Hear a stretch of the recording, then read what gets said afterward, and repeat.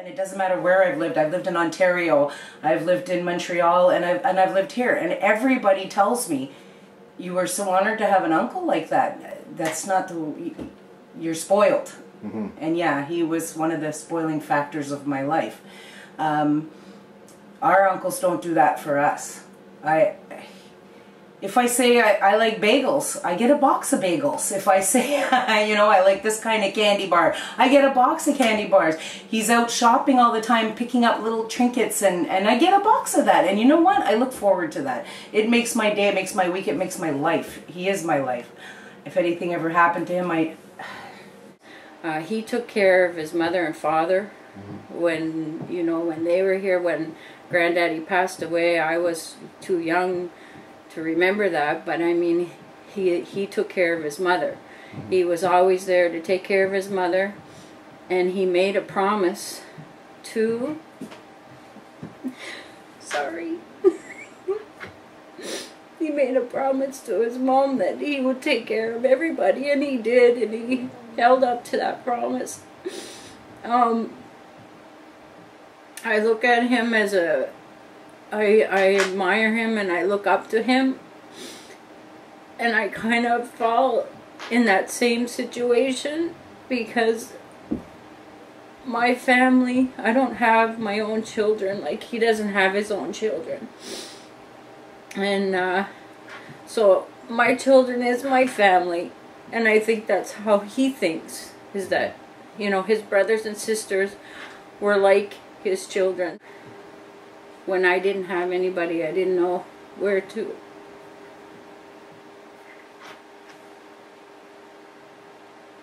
Sorry.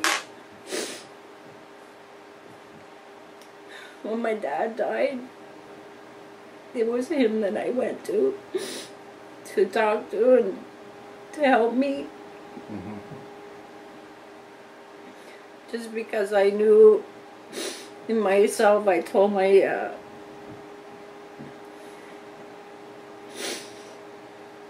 I asked myself, what would, would my dad do? And that's what he would have done. I always call Uncle Condo for help and knew he would guide him in the right way. Mm -hmm. So that's what I did. Mm -hmm. In order to to keep a language alive, it takes takes more than, than the substance of, of learning the tongue and learning the syntax and learning how how to how to uh, bring things together. It takes commitment. It, it, takes, it's almost like a spiritual quest, you know, where the generation of, of Condo, they were born into it and they were brought up into it. They didn't have to go anywhere to do it. I'm just lucky enough that I was brought up in it. I didn't have to go anywheres. So for you who are listening this, you're going to have to go somewheres to get this. And that somewheres maybe next door or or the other way uh, across town, or depending how far in the future, you know, you may have to go to the next community or to a library to get this stuff. You need to do it. Mm -hmm. You need to. You need to. There's no if, ands, or buts. There is no excuse. You need to do it. And you need to know that a man like Condo is a man who had the structure to do it, the wherewithal to do it. It takes discipline to do it. And that's what you need to do. And that's what I would like you to remember, uh, my uncle. Mm -hmm.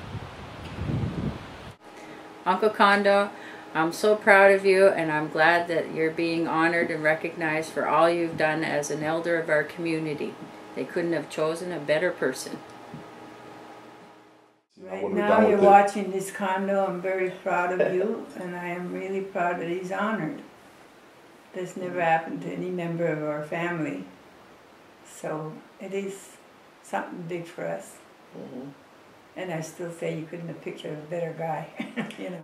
Vâng, hello mẹ đã lên. Well, da school ăn rồi ao cả cả. À cái đồ cái cái tabi yêu das ni uh, ya phải uh, Gene Watson cái chủ là what's that đấy Gene Watson. Uh, Elwi ben gazette pikisa. Adam as go mis luí ag dé go dépi luí minnig Gene Watson bhfuil a bhí an a bhí adam na. ag is scoa ge a lu si cíl. the sun goes down in Calvin County. Neon lights from an old beer sign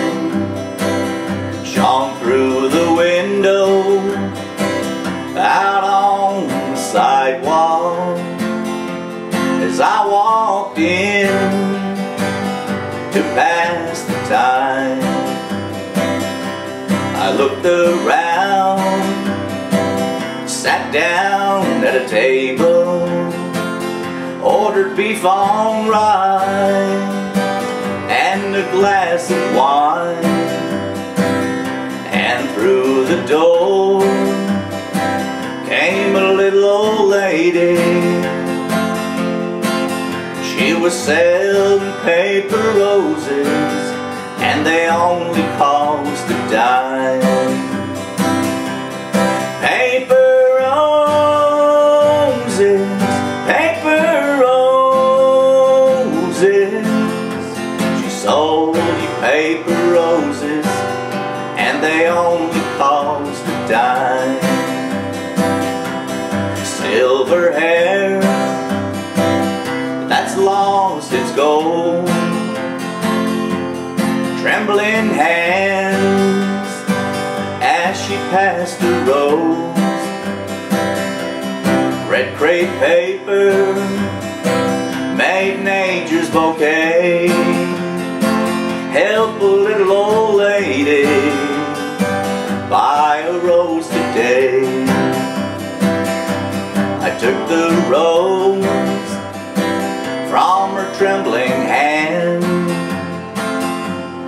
eyes of age.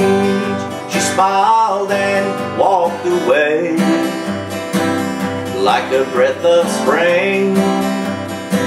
I could smell the rose. It came alive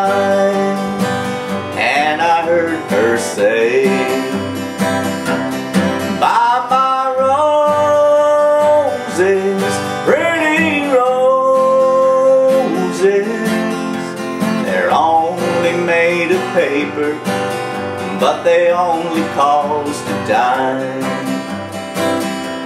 I went to look for her outside. A spray of roses lay by her side. The sky lit up and the choir sang A thousand voices as the church bells rang They sang Rosie, paper Rosie She sold me paper roses But they only cost a dime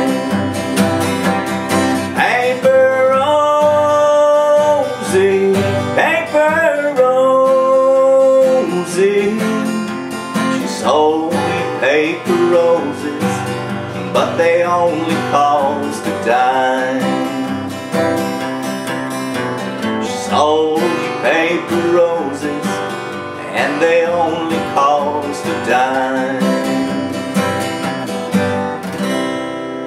Multas Condo